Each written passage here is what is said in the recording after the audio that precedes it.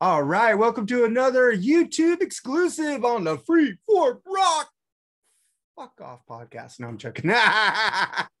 What's up, guys? I wasn't telling you guys to fuck up. I was just trying to be stupid. I am stupid, Uh, but whatever. I like when people try to be stupid because a lot of people are stupid without even trying. I like when people really try to be stupid. Remember the Weird Al song? Uh, um, dare to be stupid. Yeah. Dare to be stupid, dare to be stupid. Did I you ever Weird see? Did you ever see that Memorial Day um special that he did? It was like three or four hours on MTV. where he took over he- the MTV? Yeah, yeah. It, it, it was like he did like a three or four hour special thing where he was the host on MTV for those four hours. And he had stuff where there was like maybe a video, and if there was like a lady in the video and it showed a little bit of her leg or some, he, he inserted a real quick moment of a nerdy guy who's going,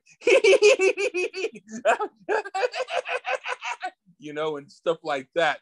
And, and, and, and it was hilarious. And I think I recorded it, but, or I wanted to record it, but it was Labor Day. He said, This is my favorite uh, holiday of all time, Labor Day. This is back around maybe 1985, maybe. It, it, it was it, it was it, was really um hilarious and i wish i could get that whole thing on video because he he it was insanely funny Probably up on YouTube. i I might want i, I might look for it on youtube you know. I, I haven't thought of that I remember that it was like he was like pirate radio taking over MTV, and, it, and he called it Al TV. Remember? yeah that remember- was it Yeah, he he's like, he's like took you saw the screen shaking, and he goes, "Ah, it's Weird Al Yankovic. It's Al TV now." Yeah, that was it wow Yep. yeah Do you like him with or without the mustache? I think he looks weird without a mustache now. Um, I think that he looks younger without it, but he looks like a totally different guy. Like if it was him and his housemate that lived in the same apartment together, and you say, Hi, is Al home? And his housemate answers and says, I'm Al. And you go, No, you're not Al. Get Al for me. I want to see Al. And he goes, I am Al. And you go, Well, you don't look like him. That's sort of the impression that I had when I saw him. He he looks he looks totally younger and different and a little bit weirder. I prefer him with the mustache. Have you heard any of his newer material?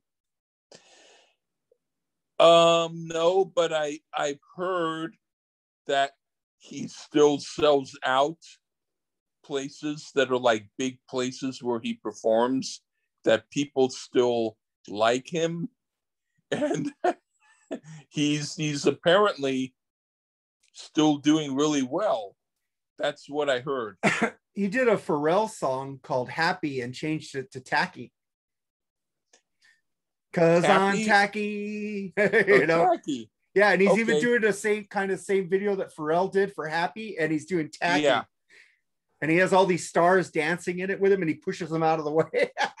he takes over for them. okay i'll i'll take a look I'll send you. The, I'll send you the video because he goes, "Cause I'm tacky." And you know that song "Royals" that one by that one girl. There's a song called "Royals." Let royals Yeah, it was a song. Let me see who did Royals. Uh, he did a version of that, which I think you would love. It's by Lorde. It's a, a lady called Lorde. He did a version called lord Lord. He did a version of that called Tinfoil. yeah i Lorde is someone who I've wanted to listen to and I haven't much. Well, he did a version of her song Royals and called it Tinfoil, and it's about him wearing it's all about tinfoil. he rapid things of tinfoil, and at the end, he wears a tinfoil hat. it's hilarious. That sounds pretty funny. I, I I think I'll listen to him. You know, not all of his songs are parodies. He's also done some original songs. Oh, I, I think it would be interesting if someone, a group out there, did one of his original songs that wasn't a parody. Why don't you do it? Do a video of you doing one of his original songs. That's actually an interesting idea. I I, I forget which songs they are. I'll have to look at his albums and and find one. But yeah, but yeah, he he he's done he's done regular material too. It's not what he's known mostly for, but he's done it. Yeah, he's yeah, had he that's said a good idea. Thank you. he's had a song called Asuya, Weasel Stomping Day, Bob, One More Minute, Virus Alert, yeah, uh, Talk Soup, The Boy That Could Dance, The Biggest Ball of Twine in Minnesota, The Checks in the Mail, The Night Santa Went Crazy, The Weird Al Show Theme, This Yeah. Is Life, Traffic Jam. And he's got a lot of original songs, man. I'm looking it up right now. yeah. Buy Me a Condo, you know, Cable TV, Calling in Sick, Close But No Cigar. it's funny. Craigslist. He did a song called Craigslist too. I'm getting Al rules, man. But uh speaking of uh some guy who uh did a parody, does parodies, but a guy who did a parody of himself. What do you think of Vince Neil trying to get back up and singing Girls, Girls, Girls the other day? I didn't see it. The reason I didn't see it was because I figured it was going to be pretty bad, and I didn't want to waste my time. he had the right tone. His tone was there, but he wasn't singing it really that good. And he stopped in the middle and said, Look, guys, my voice is gone. I haven't been up here much. And the band kept playing. And then the band had to, and he walked off stage, and the band had to make like they were singing the background vocals. They were going, Girls, girls, girls. But the thing is, it, they were lip singing the background, but they didn't want to get caught. So they acted like they were still singing because the track was still going. Um, one thing that I want to know is, did he look like he was getting in shape, or did he look really big? He looked like he lost some weight, but not that much. He was still a little bit fat, but that doesn't matter. Meatloaf was a But no, no. I mean, the reason is because there was a video of him um, with his trainer a while back saying that he was getting in shape. So, so did it look like he made some effort? It looked like he made some effort from when I saw him on Sammy Okay. Hagar show like a year ago. But uh, he's got another year for the uh, stadium show to get in shape, and I hopefully he does because that would be horrible if I'm watching and He walks off in the middle of the song, and a band is still lip singing the background vocals. He Vince was not lip singing. He even said his voice went out, and he walked off and said sorry to them. But the background, the guitar players got up and went, girls, girls, girls. And you know, it was taken from the album Girls, Girls, Girls. It was so perfect. Yeah. It can't be, it, it sounded like the Motley Crue background vocals. You know what I heard? I had heard that when David Lee Roth was in tour this last time, that he used background vocals recorded from Michael Anthony, and that um, Eddie Trunk mentioned to Michael Anthony that there were people who said that they saw the show and that they were Michael Anthony vocals. And Michael Anthony said, Really? Well, maybe I ought to contact Dave and get some royalties there. And he, he said it in a funny, like, you know, laughing way, but he he didn't know. Well, if And- the original singer is singing live and they just have some like show me background vocals, I'm okay with that. It doesn't bug me as much as like when the singer is lip singing like Paul Stanley. That just irritates me. Um,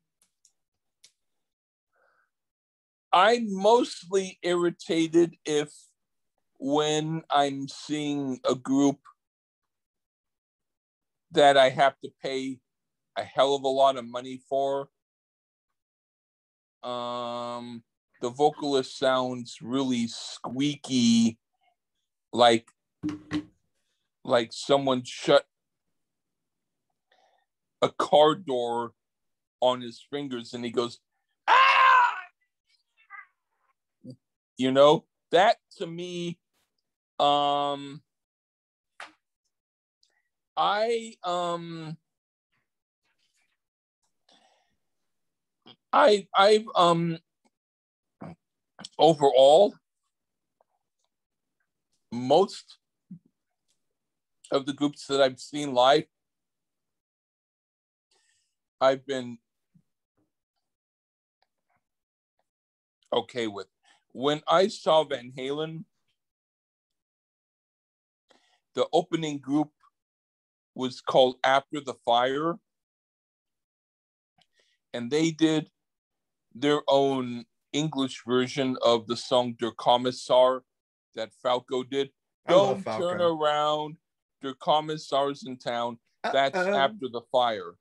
Yeah. And um, Falco did the original version, but after the fire did the um other version. And um they played live and um everyone booed them. And then they finally one of the guys, the guitarist, took like some toilet paper, some and threw it in the audience to say fuck all of you. And and then they all booed them more. But they weren't bad, but but but they didn't sound. I mean, I mean, they they they were just kind of dumb, but they did an album before that that was like a progressive rock album that maybe we ought to do sometime. There was another group that that I saw. I was at my prom. The group was called The Edge it, it, they they um did like an album that was like kind of like new wave-ish, sort of like the knack and um but they played at my prom and and then i looked up their information and the drummer was in a group called savage inter no Savage, no, the Savage Resurrection. I thought you were gonna say Savage Garden. I go, Ooh. huh? I thought you were gonna say Savage Garden for a second. I go, Ew. no, no, no, no. Oh God, don't don't get me started on that crap. Right on. We both we should just review that album so we can take a shit on it. I'd be into it, but but but the thing is, Savage Resurrection um, the thing is, the, the the drummer was in that group, and they were a cool group back in the '60s. And I had an album of, and they were good. But the Edge, it's like if I look for their album, that's like such a basic name. It's like the thing, or um the stuff. It's like, how can you find it? But if I can find it, they did a, a like at least an album or a EP, and they were kind of okay. I'd be into doing a review of one of their of their album. Um, that that was probably in print for a minute, and I, I, saw it, and and then it pro- probably got thrown out of the shop and destroyed by the weed whacker. But anyway, you know, dude, I have so many local record shops that I could go to. Um, here, I need to start like going to them again. Um, I've been to uh, Rhino Records over here in uh, Claremont, and Rhino That's Records. cool. and I they had albums up on the the top, like they had Beach Boys Pet Sounds original mint for two thousand dollars. I go, eh, no. Um, it's not worth it. I, I would like to review a Beach Boys album though, and a Monkees album one day though. I'd love to do a Beach Boys and a Monkees album, and I, I'm, I'm, um, I'd be into, um, I, I, I like the Beach Boys earlier period, like either Surfing Safari, Surfer Girl, or Surfing USA, or Little Deuce Coupe, or Shut Down Volume Two, or um, even Summer Days and Summer Nights is a good album. I love Beach Boys, man. I even like Co- I, I even like Kokomo. Summer Days and Summer Nights. That's that's a pretty hip album, and I love listening to their early stuff when they're when I'm drunk. Their stuff is fucking right on when you're drunk, Their harmonies are on fire, man. huh? Their harmonies are on fire. Yeah, and and the Monkees, any album by the Monkees, but I would prefer if I had my preference, either one of the first five albums, either the first one, the Monkees, or the second one, more of the Monkees, or Monkees headquarters, or Pisces, Aquarius, Capricorn, and Jones Limited or the birds, the bees, and the monkees. I grew up with that stuff.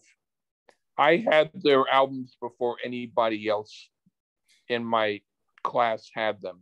I was looking at the year in rock in 1967. They had two albums in the top 10 that's for the year that were like number one and number four, I think, that were pretty high up there. And I was like, dang, I didn't know the monkees are that popular. It's going shit. Um, back in the day, they were well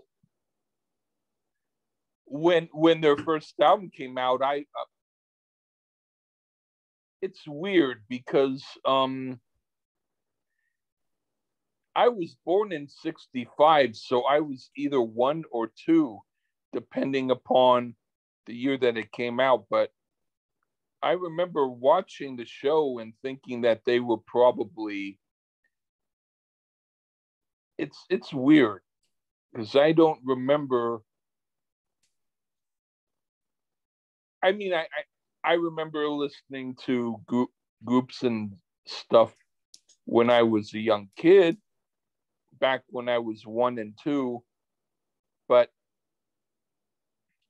I can't remember if I saw the monkey show back then. I remember watching the Beatles cartoon when I was about two or three. And I might have been four or five, but the Beatles had a cartoon. Did Did you ever see Smokey the Bear cartoons? I saw Smokey the Bear and Woodsy Owl, but I don't know if I saw the cartoons. Um, um, you you mean you saw probably the commercials, right? Commercials, yeah. yeah there was a there was a um show there was a cartoon of smokey the bear that i saw when i was about maybe two or three and it was pretty cool it was a lot like the commercials but it was at least each episode about like 10 minutes or so it was it was pretty hot i liked it and Yeah, the, um, only, the only bear I remember watching was Yogi Bear. Hell boo boo. oh let's- i love yogi Let's bear go get a picnic a basket. i love Ah, Yogi. Ranger Smith ain't gonna like that.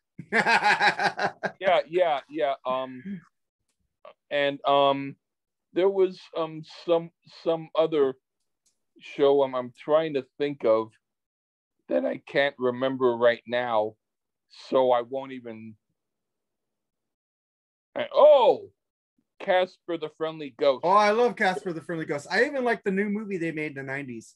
Thought that was really good. the early casper the friendly ghost the really early ones from the 60s Really good. I've seen all those. Really love those. he he was like like you know attacking dragons and monsters he was like almost like Superman. Mhm. But then they did the new Casper the Friendly Ghost around maybe the early 80s. And he played this wimp little ghost that said, I have no one to play with. Oh, it's it's like when, oh Uh. when he had his three brothers fucking with him the whole time. Yeah, yeah, and then that Yeah. wasn't the original. The original was like, I'm gonna get rid of these monsters. I'm. It was like a superhero kind of a thing. The the, the shit that you saw later, the new Casper the Friendly Ghost, was was dumb. I mean, it- I saw it, but the original, he was a powerhouse ghost, and he was getting rid of um, monsters and stuff, I- I- dragons and all sorts of stuff. You have to see the old Casper Well, from like I kind I kind of get get what you're saying because they ruined Scooby Doo and they brought in uh, Puppy. Puppy power. Fuck that puppy. Fuck Scrappy Doo. oh yeah, Scrappy Doo is horrible, and then they made the movie and they made Scrappy the the, the bad guy. That was awesome. that's took off the- they took off the mask and it was Scrappy. I was like, yeah. That's funny. Yeah, it's I I I think it was the first Scooby Doo movie they made with Matthew Lillard playing uh uh Shaggy. He was a perfect scrap Shaggy. He even did the voice of scrap of Shaggy in the newer cartoons, which is cool. I used to love the Scooby Doo with the uh where they had the fucking uh Batman and Robin in there and fucking Oh. uh uh Abbott and Costello. That was fucking cool. And the Three Stooges. yeah, I remember that stuff. Scooby Doo movies. I think it's called Scooby Doo movies. But I hated it when they brought Scrappy in because they took out Vel- Velma and fucking Daphne and Fred. They took them out. and It was just uh, Shaggy, Scooby, and fucking Scrappy fucking Doo. Ew. It sucked. I needed the Mystery Machine, man. Fuck that shit. Fuck it. And- and- Yeah. You know, you know what's funny? Before I get into my rant here, um, if we do a monkees episode, since I have no contact with him, but me and him get along, uh, ask Ken Mills if you'd like to do a monkees episode with us because he's a huge monkees fan. Um, You want me to ask him? yeah, whenever if he'd want to do it. If not, I'm okay with it. But just ask him. But the thing about Scooby Doo, man, I love Scooby Doo, but they made new movies that I don't know, like Sco- Scooby and Kiss. It, it- it's not the same, man. I don't know if I'm old saying, get off my lawn, motherfuckers. I like the old Scooby Doo. But I was like that in the 80s when they brought Scrappy Doo in here. I go, what the fuck is this Scrappy fucking do? I'm gonna go watch Thundarr the Barbarian. Fuck this shit. Yeah. You know, I haven't seen that new Scooby Doo movie with Kiss. Yeah. I'm thinking it probably sucks. It probably does. I want to see it so I can make fun of it, but I, I it doesn't have Ace in it. It's fucking Tommy Thayer and fucking fucking Yeah. whatever. But you know what? You're talking about the Beatles. Remember, um, remember fucking. I don't know if they did their voices for their own cartoon because they didn't do the voices in the Yellow Submarine. It was other people doing their voices until the end. They brought in the real video. Yeah, the Beatles didn't do the voices until remember at the end they saw them, saw the real Beatles in black and white. You saw them talking at the Uh, I- end. I, didn't see the whole movie, but uh, I, I, no, wait, I I think I did when I was four. I thought I I loved it, but I didn't. I saw the movie Help, and um, hey, Phil Collins was a in Help, wasn't he? Wasn't he in Help or Hard Day's Night? Phil Collins was in there like a man on a train. I didn't know that. Yeah, Phil Collins was in a Help, one of the Beatles movies. Let me look it up so we could be cool on this shit. Phil Collins Beatles movie. Um, But Yeah, I, I, I I watched Help. I watched. I think I think I loved that that Yellow Submarine was a really really weird movie, and I loved it. oh, I love it too. I used to have it on DVD when they re-released it. Um, I saw Jack Bruce live. You know the bassist from Cream, Yeah. and on the loudspeaker, they had the Yellow Submarine soundtrack played loud. and I and I heard it loud, and it was like, wow, this is trippy good stuff. Phil Collins was an extra in the Hard Day's Night movie. Oh, okay. I I I saw a little bit of that movie, but I didn't really see it. Yeah, he was an extra in there. So that's cool. But you know what also pisses me off? Genesis is coming to do a tour in the United States, North American tour. They're not in fucking coming to Los Angeles yet. And I'm fucking, come on, schedule that shit. I'm there. I'm fucking, I want to see them. I, I saw think Phil. that they're coming into New York, They are. They added an extra show. but I already saw them back in the 80s. but I didn't see them. But I did, so I don't need to see them. But I saw Phil Collins in uh, Not Dead Yet tour about two, three years ago. He was he, you know, he had spinal surgery right on his neck. Yeah. He can't really play the drums, so he he came out on a cane and sat in a chair, and he sang all the songs perfect. And his son, 17 year old son at that time, played all Phil Collins's drums, and his son fucking was on point with every That's fucking cool. drum. He sounds just like Phil, and his son. Phil said, if I'm going back to Genesis, my son needs to play drums because I still can't do it. But he said, Phil has said Yeah. that he's getting better and he might get up there and play with his son on a couple songs. You know, like they used to That's do, with, like they used to do in Genesis with the the black drummer. I forgot his name. He played on all. Phil, Thompson.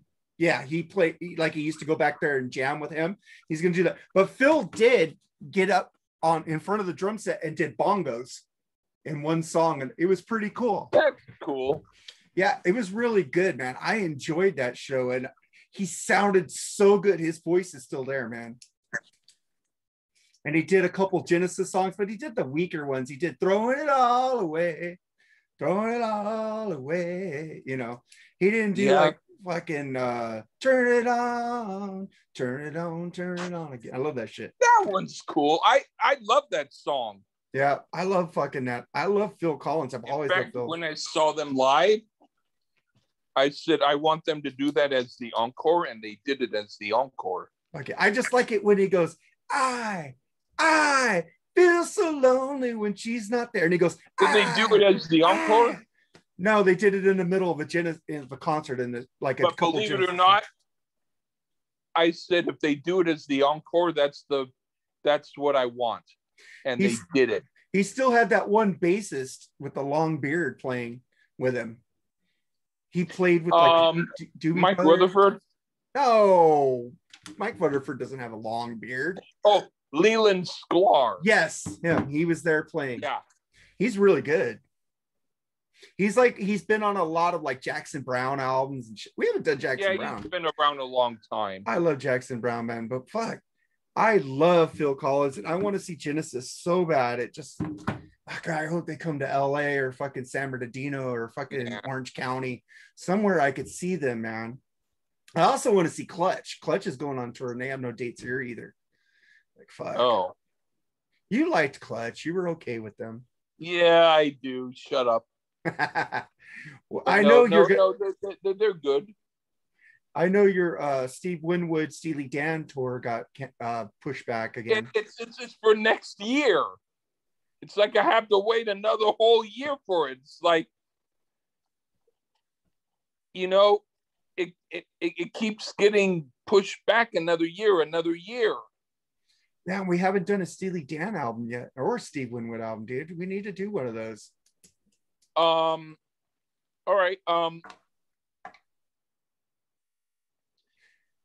I know what Steve Winwood album I want to do. Um,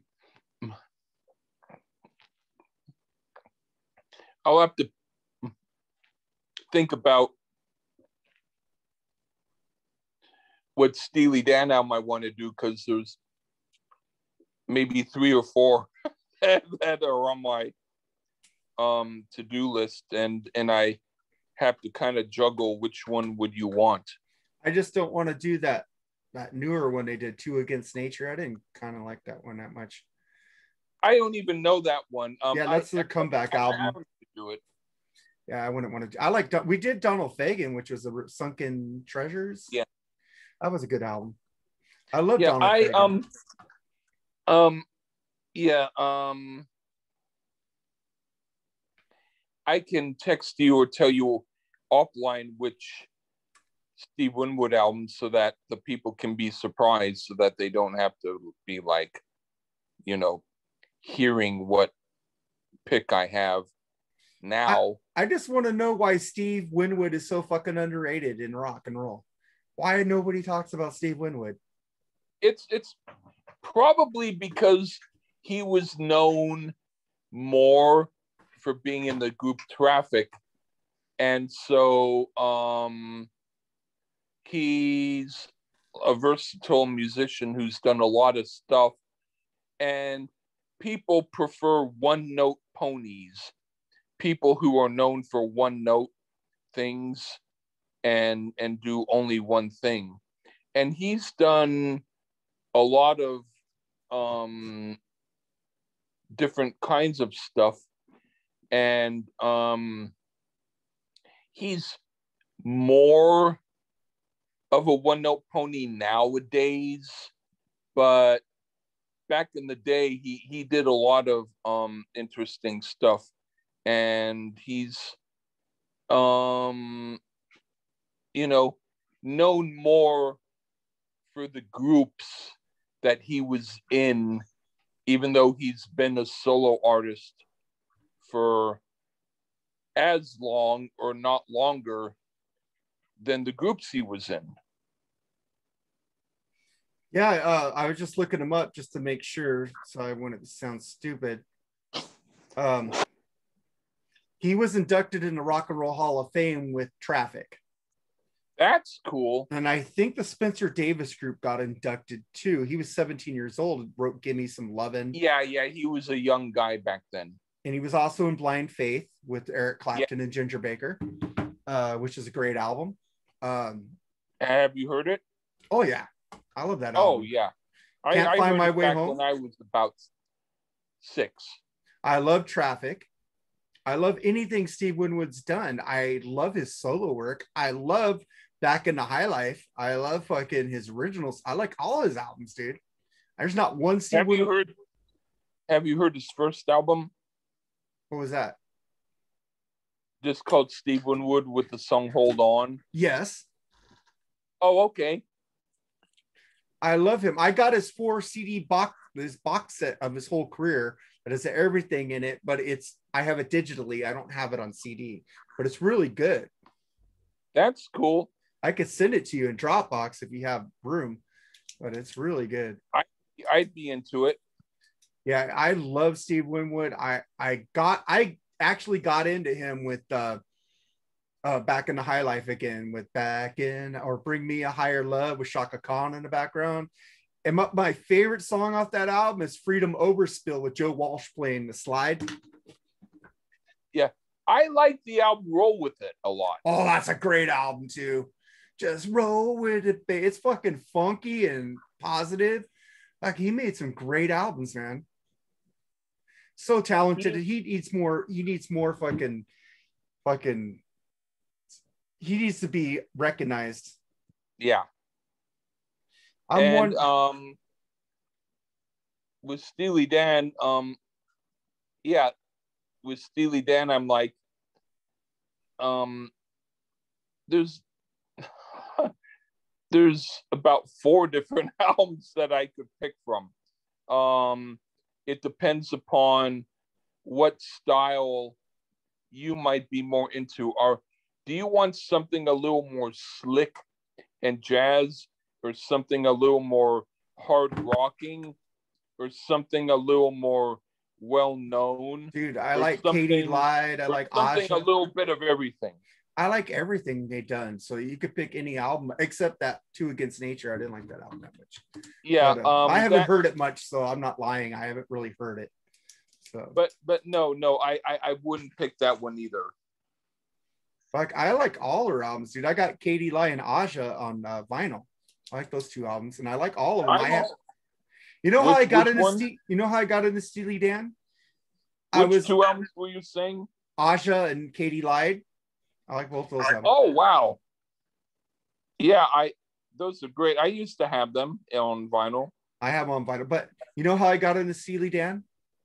How? I needed to pick another CD in Columbia House to get my 12, and I picked that one. And then out of all, I don't remember what else came with them, but I played that one the most. I love that one, dude. Huh. There's It an just- album by um um It's their greatest hits. I loved it.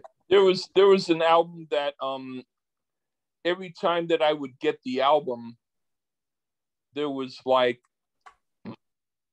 Michael Shrieve Mhm. he was the drummer from Santana the original drummer and he did an album called Stiletto and I wanted to hear it and every time that I thought that I found a copy either the album wasn't in it or it was in bad condition or whatever and then so finally I found a CD of it and I thought I finally got to hear it. And then when I came home, it wasn't that album. It was an album by Vangelis called The City. But I heard it and I loved it. And then finally I found a copy of Michael Shrieve's Stiletto and I got it and I heard and I went, I like Vangelis' The City a lot better. you know, it's like um but um but yeah, Michael Shrieve, he's worked with Andy Summers and with um Klaus Schulze, who you might not know of, but we won't do a Klaus Schulze album because he's more electronica, and that's a totally different realm than you're into but um but but it's it's good music but but yeah you you you wouldn't want to hear a whole song that's about 40 minutes that goes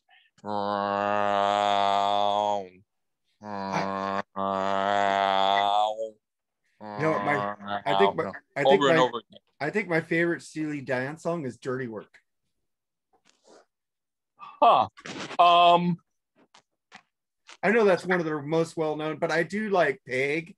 I love fucking Black Um, Cow. I, I like a lot of fucking songs them. I like every song they've done. It's like not a Um, Dan song um, out there I don't like. David Palmer was the vocalist on Dirty Work.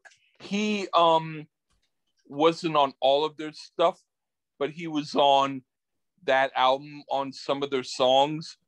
And then later on, he was uh, he had like this curlyish golden hair. And if you see the live version of Do It Again, he's wearing like this Oh, I love- really I love Do It Again. really lime green shirt and and and he's um looking like a flamboyant guy but then later on he was in a group called the called Wha-Koo and and and he looked more like a regular guy kind of like a Sammy Hagar type of guy and the songs were a little more dark they had a little bit of S&M kind of quality in the lyrics and then and the music was a little more hard hitting like Bruce Springsteen, and and that stuff is hard to get. Shit, we haven't um, done a Bruce had Springsteen album album by yet. them. We'd be I, I'd be into doing a Wha-Koo album with you if if you're into it. That had David Palmer from Steely Dan, but it's not going to sound like Steely Dan. That's cool. But you know what? Have you ever heard uh Shaw and Blades, Tommy Shaw and uh Jack Blades uh solo albums together? Shaw and Blades. Like Blades, Blades and Shaw. Shaw and Blades. It's called Shaw and Blades. Yeah, yeah, yeah. Oh, oh, it's Sean Blades album. I, I haven't Blades. heard it. Let's see if you could see it. That's the album right there. but I don't know if you could see it. I, I I can find it. It's called Influence. They do all okay, these. Sean Blades influence. Yeah, it's shot and they do dirty work. Huh. It's Do they do really a good? good version. Huh? They do it good. Yeah, it's mostly acoustic. It's mostly Huh. acoustic album. It's really good. They do uh Merry-Go-Round, a song called Merry-Go-Round.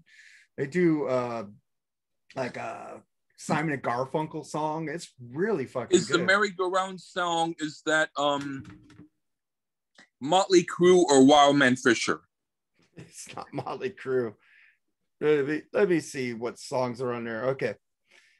They do Summer Breeze, California, right. Dr- California Dreamin', The Sound of Silence, um, Hmm. Dance with Me, Your Move by Yes. Oh my God, they're doing Dance with Me, the Orleans shit. Yeah. Uh, Fuck. You know what? The guys from Orleans originally, they were in a group called Boffalongo. And then they had the guitar player John Hall, who's like a cool Larry Coryell style jazz Mhm. rock guitarist who did kind of singer songwriter stuff, but with really cool jazz stuff. And you think, hell, they get together, they're gonna be fucking smoking. Instead, they do dance with me. It's like it would be like if Jimi Hendrix did um um Don't Cry Now by Melissa Manchester. It's that different. I love the first. Uh, no, that's not Melissa Manchester. I'm thinking of Melissa You- Etheridge. You like you like um No, I don't like Melissa- Now? No, I don't. Okay, thank you. Well, also they did Time of the Season. I said Your Move by Yes. They did I Am a Rock. They did Lucky Man. They did Sound of Silence, California Dreaming, and it wasn't Merry-Go-Round. It was On a Carousel. On a Carousel. I don't know that song. And for what it's worth, you know, from what it's worth, Yeah, so they they they did a basic thing of 70 that songs. wasn't too adventurous. well, they did 70 songs. Yeah, yeah, stuff that everybody would know. Well, Your Move, nobody really knows that. Well, I Am a No, Rock. is no, no, no. Everybody knows. Maybe you don't because you were. I Like- love yes. I know it because it's yes. Come on. I'm a huge yes fan of all eras. Which which song of Yes did they do? your move? What? Your move? That's the most basic shit that they could do. Well, they did acoustic, so it's easy to do it acoustic. Yeah, I know. It's like um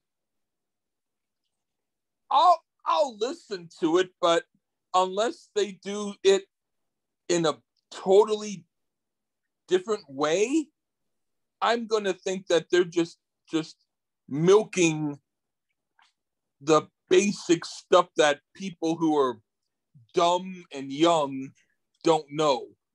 Well, the thing is, I like them because I love their harmonies together. I love how they sang in Damn Yankees. And this is kind of acoustic. And they did an album before this of all original songs called My Hallucination, which is really good. It's a rocking album. I had that one I on think CD. that I heard that and I like that. My hallucination. I love that. Oh, a new Night Ranger album's coming out. I'm like, yeah, love it. a new Styx album's coming out too. Like, yeah, they should go on tour together so that those two could get up and sing open for themselves and do damn Yankee songs and bring Ted up. That'd be awesome having Styx and Night Ranger on tour together and then fucking Shaw and Blades open for those bands, and then they bring up and they do Damn Yankees and their solo stuff. That'd be amazing. I guess not for you. I see that look on your face. I I I would rather hear Lee Ritenour, you know, you know, that, that guitarist who did the song Mr. Suitcase, Mhm. you know. Um that's that's his big um song. And, I don't know that and if song. you huh? I don't know it. You should. It, it it's it's in dollar sections and record stores. Well, dollar sections don't exist anymore because there's no big record stores out there. Every album that's a dollar now is 15. It goes da da. Are you there, Mr. Suitcase? Da da da da da da. You know that one. No. Yep. But All I right, do- then maybe because you don't buy jazz albums. Uh, and we and fucking uh I just found out Cheap Trick is playing in August, headlining. I'm like, yes. And Blue Oyster Cult is opening for them. Oh, I thought you like Blue Oyster Cult. they're okay. Everybody's but, but raving I'm about their new to album. say is, you don't even go to, you don't go to see any of the new artists. yes, I got tickets for the Black Crowes with I'm talking about people who aren't that well known in regular clubs. Well, you know who's opening for the Black Crowes is Dirty Honey. They're, they're, they're still kind of well known. I, I'm Not talking really. about You know they don't have a record deal. They released their album independently, dude. They did it. I know. It's like I was talking about the other day on a on a post saying Metallica should go out and take new bands with them, and they said they were agreeing with me. They should take out like a a new band and an established band that was in they got influenced Like we were saying that Armored Saint should open up for them and then bring a newer band out with them also. Or bring out like uh I don't like the band, but uh what's that band? Fucking uh, that one dude with the high voices in that pl- did that album Melissa You mean the um the King the- Diamond, the, the group the the the Mercyful um, Fate. the one with I believe in love. Oh, I believe in da da. Oh, I believe in. Huh? Mercyful You Fate. know- They said they should bring out Mercyful Fate or King Diamond and then have Armored Saint with them also. Oh, I I, was thinking instead, um, the group called um. There, there, there's a group where, where, where, where, um, the, I forget, like the outside or the out, out, not the outfield, but, um, The outfield's dead, dude. The guitar player and the singer died. yeah, yeah. I, I'm, I'm talking about, um, give Well, me. it doesn't stop give- people from doing a band. Give, The give- drummer give- will come out with somebody. give me give me um a moment i i'm, I'm going to look um Well, it's like the outfield will get resurrected by the drummer, bring a new bass player and a new guitar player in the band. and call oh the darkness I hate the of. darkness. Oh, you hate them Oh God. But the thing is, I think that's have that's who i was thinking of because of the high voice you said but Bob Reed, uh, when he was on the podcast, he gave us a darkness song, and that out that song was really good. I just don't like that where they go, I fucking I hate that shit. Oh my god! But that song he gave us, the track of the week, was really good, and I I was meant to look into it, and I never did. I feel sorry, Bob. Well, he's not my friend on Facebook, anyways. I posted too much and irritated him. Sorry, Bob. oh well I don't have it. I'm out of work until my job calls me back. So what else do I have to fucking do? I don't post politics anymore. Really, rarely. Hey, Lee went black. I yeah that's because my um yeah All right, just- man. just Well, of my I think we um, should we should end it right now and tell everybody to fuck off and have a good day. Okay fuck off and have a good day everybody Later, guys.